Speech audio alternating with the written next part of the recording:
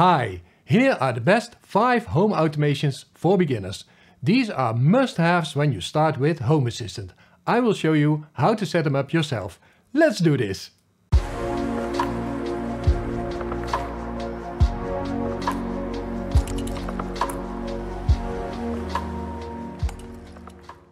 Welcome to this ultimate guide on the top 5 simple Home Assistant automations for beginners. If you're new to Home Assistant, these tips will help make your life easier and more convenient. Let's get started. With a single command or a schedule, you can control your lights throughout the day. No more fumbling for switches in the dark. Set the lights to turn on when you enter a room or off when you leave a room. It's all possible with Home Assistant. The devices that you'll need for this are a motion sensor and some smart lights. Let's set this up. Go to Settings, go to Automations and Scenes. Click Create Automation. Click Create New Automation. We will first define two triggers at which the lights should turn on and off. Click Add Trigger. Select State. Select your motion sensor entity. In my case it's Office Motion Sensor ISON. Select Detected in the To field. This way, this trigger gets triggered as soon as the motion sensor reports that it detected motion. In the next step, we are going to assign a trigger ID to this trigger. If you want to know more about trigger IDs, then please watch this easy to follow video where I explain how they work exactly. Click the three dots in the upper right corner of the trigger. Select Edit ID. Enter a trigger ID name like Motion Detected. The trigger that detects motion is now defined. Next we are going to define a trigger that detects if motion has stopped. Click Add Trigger. Select State. Select your motion sensor entity again.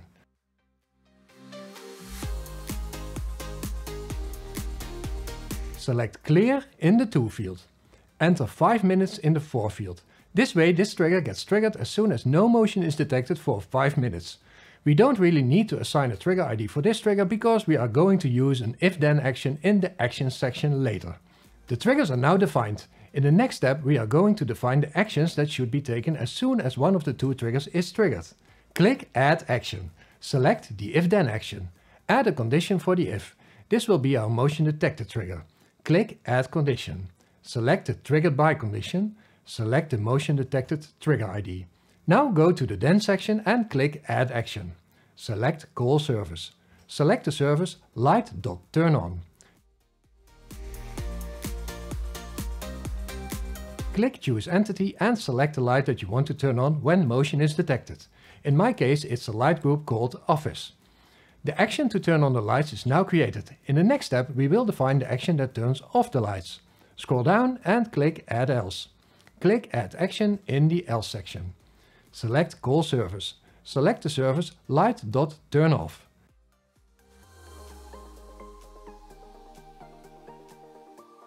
Click Choose Entity and select the lights that you want to turn off when the motion has stopped for 5 minutes. Click Save and give your automation a meaningful name.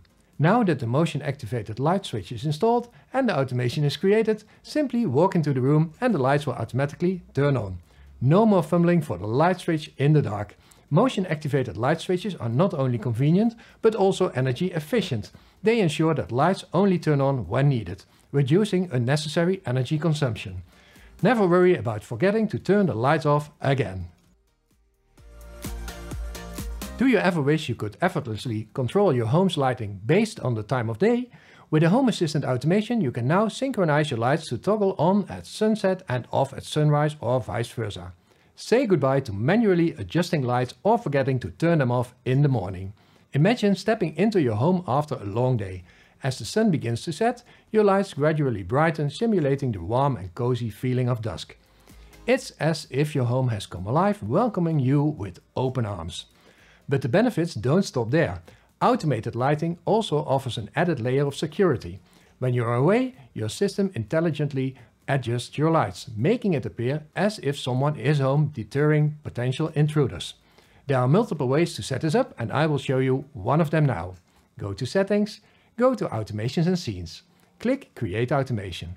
Click Create New Automation. We will first determine two triggers at which the light should turn on and off. Click Add Trigger. Select Sun. Leave the event selection to sunrise. In the next step, we are going to assign a trigger ID to this trigger, just like we did in the previous automation. Click the three dots in the upper right corner of the trigger. Select Edit ID. Enter a trigger ID name like Sunrise. The trigger that detects sunrise is now defined.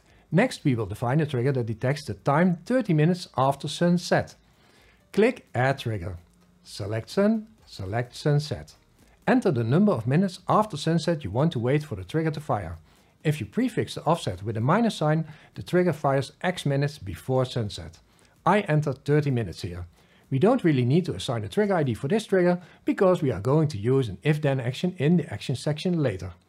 The triggers for sunrise and 30 minutes before sunset are now defined. In the next step we are going to define the actions that should be taken as soon as one of the two triggers is triggered. In the action section click add action. Select the if-then action.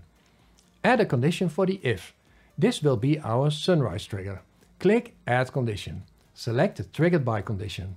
Select the sunrise trigger ID that we defined before. Go to the then section and click add action. Select call service. Select the service light.turnoff.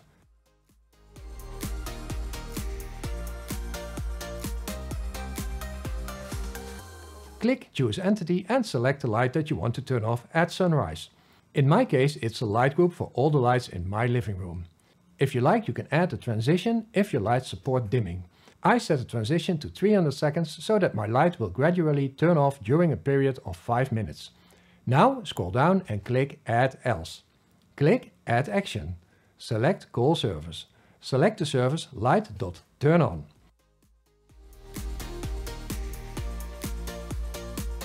Choose the light entity that you want to turn on 30 minutes before sunset. I set the transition to 300 seconds again. Click Save and give your automation a meaningful name. Your automation is set up and your lights will gradually turn on and off at sunset and sunrise automatically now. Imagine a home that takes care of itself. A home that knows when everybody has left and automatically powers down all devices. No more going through every room, turning off the lights, unplugging chargers and switching off appliances. With this Home Assistant automation, it's all done for you. When the last person leaves the house, Home Assistant detects the absence and then the magic happens. Lights turn off, appliances shut down and chargers stop drawing power. You can rest assured that energy is not being wasted when nobody's home. But automated power down isn't just about convenience. It's also about saving energy and reducing your carbon footprint. With Home Assistant, you'll see a noticeable decrease in your energy bill month after month. Imagine never having to worry about whether you remember to turn off the TV, the air conditioning or the coffee maker. With Home Assistant, you can leave those concerns behind. Plus, you can easily customize your settings to fit your needs. Want certain devices to stay on even when nobody's home? No problem. You have full control. To make this work, you need to have the Home Assistant companion app installed on the phones of all people in the house or detect if your phones are connected to your Wi-Fi network using a Home Assistant integration for your router. I will only cover the automation now. Go to Settings, go to Automations and Scenes. Click Create Automation. Click Create New Automation. We will first define one trigger that detects when everybody has left the house. Click Add Trigger. Select State. Select your home zone in the Entity field. Enter 0 in the To field. The trigger that fires as soon as 0 people are in your home zone is now defined. Let's add the actions to turn off devices now. Go to the Action section and click Add Action. Select Call Service. We are going to turn off all the lights with just one call. You'll need a little trick for this, but don't worry, it's really easy. Select the service light.turnoff.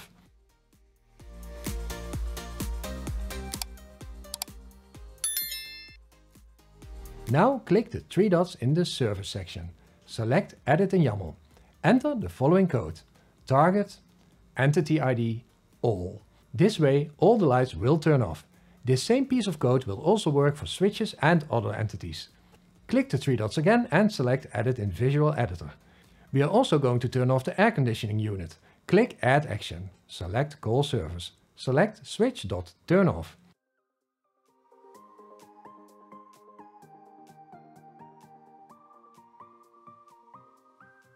Click Choose Device. Select your air conditioning unit. Click Save and give your automation a meaningful name. Imagine coming home on a chilly day and as soon as you step through the door, your house is heating up to get warm and cozy. It's like having your own personal heating greeter. This is how it works. All you need is a smart thermostat and the Home Assistant app on your phone. As soon as Home Assistant detects your presence, it sends a signal to the smart thermostat. Without lifting a finger, you'll be greeted by a welcoming blast of warm air as the heating system automatically kicks into gear. Not only is this energy efficient, it also saves you the hassle of manually adjusting the thermostat every time you come home. Plus it ensures that you always step into a comfortable environment. And when you leave the house, you can automatically turn down the heating as well. Let's set this up. Go to Settings, go to Automations and Scenes. Click Create Automation. Click Create New Automation. We will first define two triggers that will fire when someone enters your home or everybody has left your home. Click Add Trigger. Select State. Select your home zone in the Entity field. Enter 0 in the To field. Click the three dots in the trigger. Select Edit ID. Enter a trigger ID for this trigger, for instance nobody home. We defined the trigger that fires if everybody has left the house. Next we will define the trigger that fires when someone enters the house. Click Add Trigger. Select Numeric State. Select your home zone in the Entity field.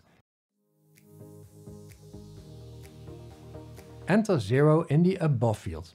This trigger will fire as soon as there's at least one person detected in your home. Again, we do not need to define a trigger ID for this trigger because we are going to use an if-then action in the action section later on. Scroll down and go to the action section.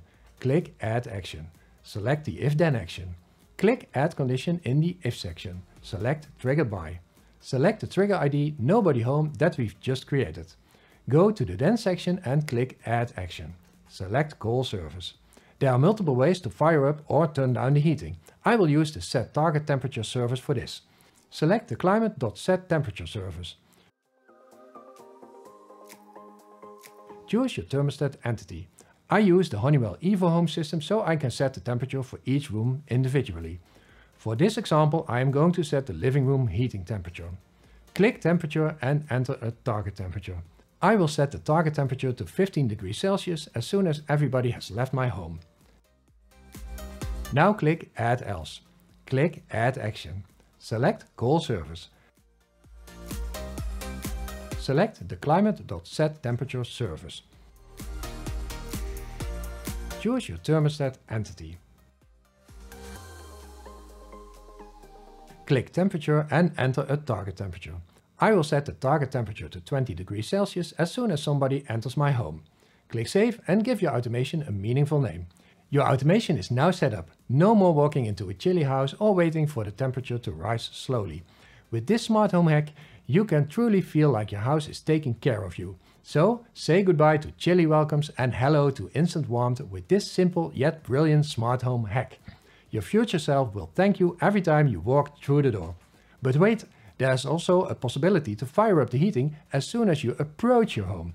So in that case your home is already warmed up before you've entered. I created a separate video about that. Watch this video if you'd like to know how to set it up. Imagine this, you're away from home and the fire breaks out. Your smoke detector detects the smoke and immediately sends a notification to your phone. You receive a message alerting you of the potential danger, giving you the precious time needed to act fast. Whether you're at work, running errands or on vacation, you'll have peace of mind knowing that you'll be alerted the moment smoke is detected. You need a smart smoke detector like this one to create this automation. You'll find a link to all the devices that I use and recommend in the description of this video. Let's set it up now. Go to Settings, go to Automations and Scenes. Click Create Automation. Click Create New Automation. We will first define one trigger that will fire when a smoke detector detects smoke. This time I will take a different approach. Instead of checking for a state, I will check for a device instead. I just wanted to show you this possibility as well. However, I prefer to check on entity states. This is because an entity name is independent of a device. So if you have to replace a device when it's broken, you can use the same entity names for the new device. This way all your automations keep working once you've replaced the device. If you check on the device in an automation, you check on the ID of the device, which is different for each device. And that means that you have to go through all your automations to select a new device. Just saying, click Add Trigger, select device, choose your smoke sensor. Select the trigger that starts detecting smoke. Go to the Action section and click Add Action. Select Call Service. Select the service Notify with the name of your phone. You'll need to have the Home Assistant app installed on your phone to see this service. Enter a message that will be sent to your phone as soon as smoke is detected.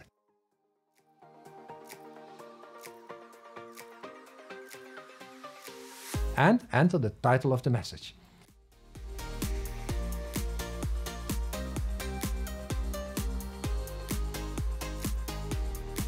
Click Save and give your automation a meaningful name. Your automation is now working. Never again will you come home to a house filled with smoke without warning. Protect your loved ones and your property by setting up this real-time smoke detection. You can type these automations from the screen for free, but I also created a blueprint pack for these 5 automations so that you can just install the blueprints and set up the automations easily. You can download them for the price of a coffee, so you help me to keep this channel alive. The link is in the description of the video.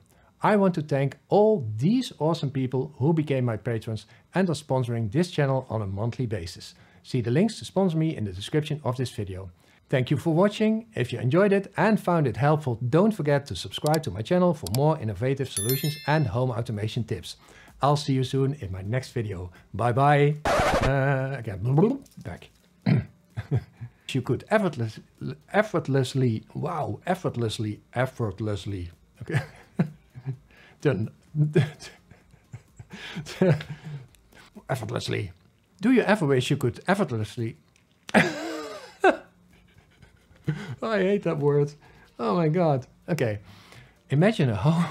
imagine a home. Imagine a home. Imagine.